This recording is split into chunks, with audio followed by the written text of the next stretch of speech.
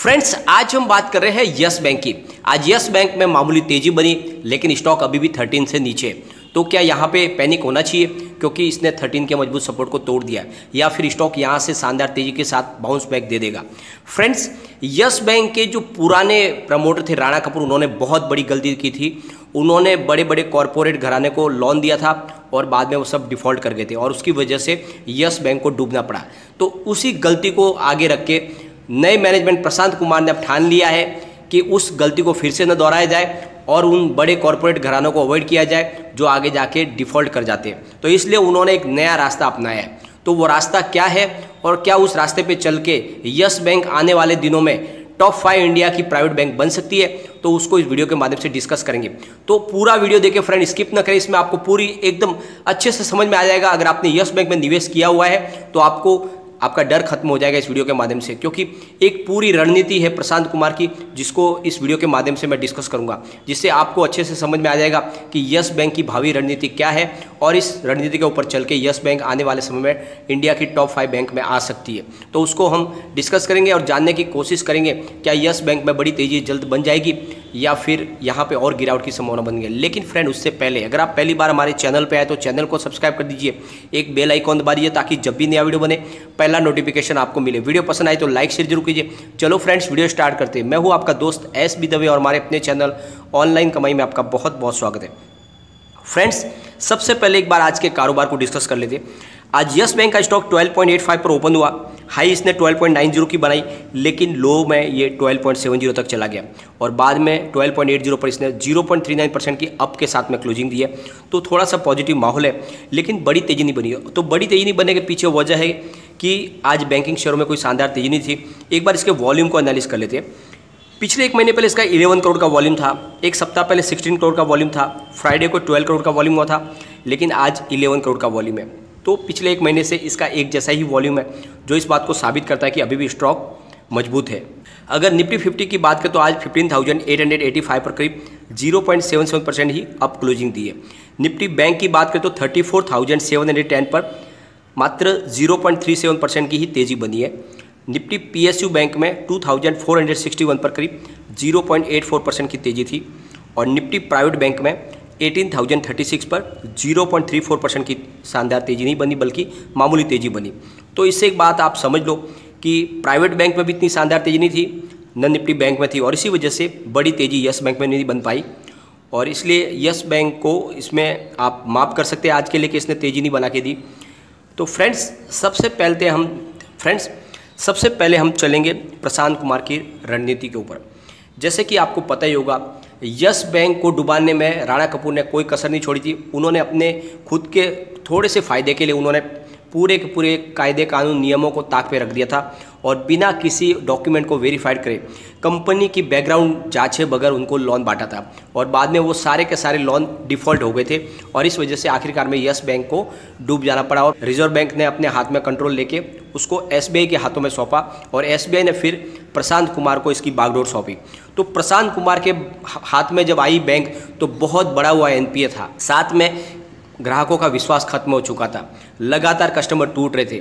तो ऐसे में प्रशांत कुमार ने फिर सबसे पहले जो ठाना कि इस बैंक की जो इमेज है उसको बदला जाए। तो इसके लिए ज़रूरी है कि बैंक को पूरी तरह से डिजिटल प्लेटफॉर्म पर खड़ा किया जाए, एक लेटेस्ट टेक्नोलॉजी के माध्यम से बैंक का कारोबार ऐसा हो जो दूसरों से हटके हो। तो इसलिए उन्होंने तुरंत अमेरिकन कंपनी सेल्स फोर्स के साथ में कोलोब्रेशन किया, जिसके तहत उनको लेटेस्ट टेक्नोलॉजी मिली। और उस टेक्नोलॉजी के दम पे उन्होंने अपने कस्टमर को अट्रैक्ट करना शुरू किया। यानी जो लोन लेने की प्रक्रिया वगैरह जो बहुत समय लग जाता है, उसको बिल्कुल आसान कर दिया।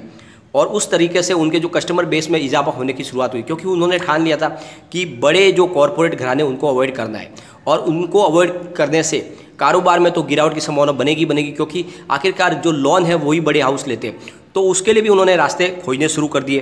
तो फ्रेंड्स जो लोगों का विश्वास खत्म हो गया था, उसको फिर से कायम करने के लिए उन्होंने एफडी के ऊपर शानदार इंटरेस्ट देने की पेशकश की। यानी जो कस्टमर का जो एफडी है, उसके ऊपर उन्होंने अच्छा रिटर्न की। जो पेशकश की तो कस्टमर उनकी तरफ़ अट्रैक्ट होने लगे। ऊपर से उनको शानदार डिजिटल टेक्नोलॉजी से रूबरू करवाया गया। और इसका नतीजा ये हुआ कि उनकी एफडी के अंदर जो कस्टमर बेस है, वो बढ़ने लगा और वहाँ जो उनका जो डिपॉजिट रेशियो बढ़ने लगा। फ्रेंड्स तो इसके लिए एक बार जैसे कि अभी जो लेटेस्ट उनका जो एफडी ऑफ़र कर रही है बैंक उनके हिसाब से देखे तो यस बैंक उस लिस्ट में आगे है सबसे। क्योंकि जैसे कि आप देख रहे हो तो डीसीबी बैंक 5.70 से लेकर 6.50 का एफडी के ऊपर इंटरेस्ट दे रही है। उसी तरह से इंडियन बैंक 5.50 से लेकर 6.50 दे रही है। आरबीएल बैंक 5.40 से लेकर 6.50 दे रही है। और यस बैंक 5.25 से लेकर 6.50 दे रही है। तो इस तरह से ये जो बैंक है, ये जो चार बड़ी बैंक है ये एक जैसा ही, यानी 6.50 का एफडी के ऊपर इंटरेस्ट रेट दे रही है। तो कस्टमर अट्रैक्ट हो जाता है यस बैंक की तरफ़ से, क्योंकि यस बैंक की सर्विस भी बहुत ही ज़्यादा यूनिक है और डिजिटल प्लेटफॉर्म पर सर्विस आने से सारा का सारा कामकाज ऑनलाइन हो रहा है और बहुत जल्दी हो रहा है, कम समय में हो रहा है। तो इससे उनका कस्टमर बेस बढ़ रहा है और जब उनका कस्टमर बेस बढ़ गया, उनके पास जब फंड जमा हो गया एफडी के रूप में तो उसको फिर बांटना होगा लोन के रूप में। और उनकी लोन बुक काफ़ी समय से कमज़ोर थी। उस लोन बुक को मज़बूत करने का रास्ता खोज लिया। तो उसके लिए उन्होंने फिर अलग अलग बड़ी बड़ी फाइनेंस कंपनियों के साथ में बिज़नेस टाइप करना शुरू कर दिया। तो आपको पता ही होगा, तीन से चार दिन पहले जब न्यूज़ निकल कर आई थी, यस बैंक ने India bulls home finance limited के साथ में एक बिज़नेस टाइप किया जिसके तहत आरबीआई के द्वारा जो नियम बनाया गया, जिसके तरफ़ से बैंकिंग और गैर बैंकिंग फाइनेंस संस्थाएँ दोनों मिलकर लोन के लिए अपना एक बिज़नेस टाइप कर सकते हैं और उसका फ़ायदा उठाते हुए यस बैंक ने इंडिया बुल्स होम फाइनेंस के साथ में बिज़नेस टाइप किया, जिसके तहत अब जो इंडिया बुल्स होम फाइनेंस के जो कस्टमर हैं, उनको यस बैंक अपना लोन बांटेगी। तो इस तरीके से उनकी जो लोन बुक है, वो मज़बूत होती जाएगी।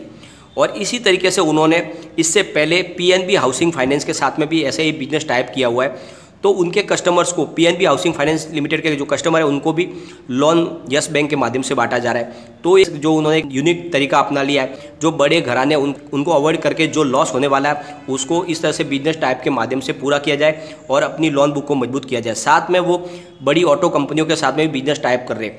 पिछले दिनों उन्होंने टाटा मोटर्स के साथ में एक बिज़नेस टाइप किया, जिसके तहत टाटा मोटर्स के जो कस्टमर हैं, उनको फाइनेंस सर्विस प्रोवाइड की जाएगी येस बैंक के माध्यम से। और इसी तरह से उन्होंने जो अभी लेटेस्ट अपडेट आई थी, उसके हिसाब से किया के साथ में पार्टनरशिप की है।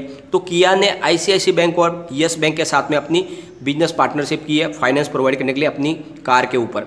तो ये सबसे बड़ी अच्छी बात यह है कि किया ने इसके लिए ये आई बैंक के साथ में यस बैंक को सिलेक्ट किया। इसका मतलब वो जानते हैं कि यह बैंक उस लेवल की है, यानी आई बैंक के लेवल की यस बैंक है, वैसी ही सर्विस दे पाएगी अपने कस्टमर को। तो ये बहुत ही अच्छी बात है और इस वजह से कस्टमर भी बेस है, उनका बढ़ने वाला है। तो ये जो बिज़नेस आइडिया उन्होंने निकाला है, इसकी वजह से जल्द से जल्द उनकी सेहत में बहुत ज़्यादा सुधार होने वाला है। क्योंकि पहले उन्होंने अच्छी खासी एफ़ डी इंटरेस्ट रेट अच्छी दे के कस्टमर बेस उन्होंने बढ़ाया।